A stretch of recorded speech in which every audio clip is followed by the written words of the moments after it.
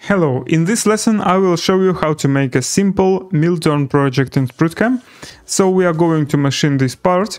So we will go and make some uh, some turning operations. We also will make lathe hole machining, uh, ID roughing, OD roughing, uh, threading. Uh, we will also have two setups here in this project.